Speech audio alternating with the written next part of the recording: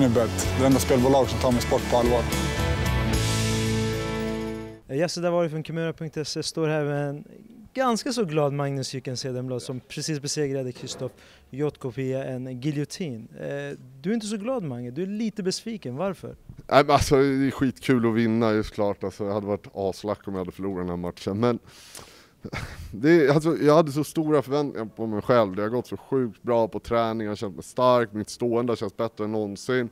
Jag tycker inte jag får ut något stående, jag får inte alls det att fungera. Jag bara låser mig, står och väntar på vad han ska göra och så. så.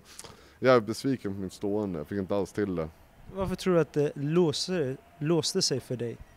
Nej, jag har ingen aning faktiskt. jag, jag, jag får... Känner du pressad? Känner du att eh, du inte visste så mycket om honom eftersom han var obesegrad? Just det här med att han är obesegrad, att han var lite...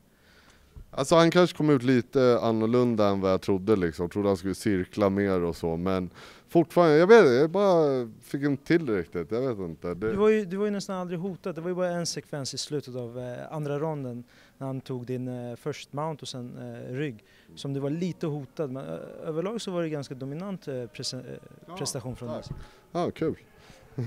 Måste ju boosta upp det lite grann nu när du är så självkritisk. Nej men alltså, du går, eh, du går på en eh, arm, arm triangle, du går inte, den går inte in, han vänder på dig. Eh, hur känner du då? Hur tänkte du då? Det var i slutet i andra eh, ronden. Eh, hur tänkte jag då? Tänkte jag halvgard, hur gör jag det här nu igen?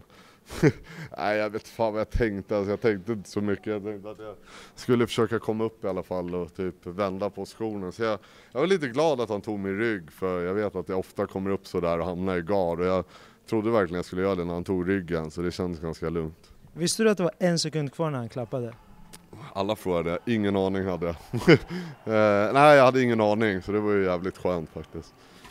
Eh, nu har du lite småskador men tror du att du kan ställa upp dels i MMA-panelen på måndag och eh, framförallt UFC Sweden om eh, fem, sex, fyra månader? Har de sagt att det ska vara då? Oktober, 4 oktober är det vad de säger. Ja men det hoppas jag verkligen. Jag har sagt, fick lite små skavanker i matchen men jag tror inte att det är något som kommer spela någon roll. Så MMA-panelen självklart. Du berättade ju att du skulle helst vilja möta Luke Barnett härnäst ifall Luke vinner. Men om Sean vinner, är det en potentiell motståndare? Nej jag vet inte ens vad Sean Strickland är. Nej, Nej det var ju med att jag tyckte, jag gillade Luke, jävligt trevlig, vi satt och snackade mycket och vi sa att det hade varit roligt att gå en match någon gång. Han är jävligt lång också så det skulle vara spännande att köra mot honom. Den stora, de stora rubrikerna och eh, st stora snacket just nu eh, på Twitter, i alla fall på Kimuras Twitter, är att din shoutout. Ja. Du, du hälsade Hessie av alla människor på den här jorden. Hur kommer det sig?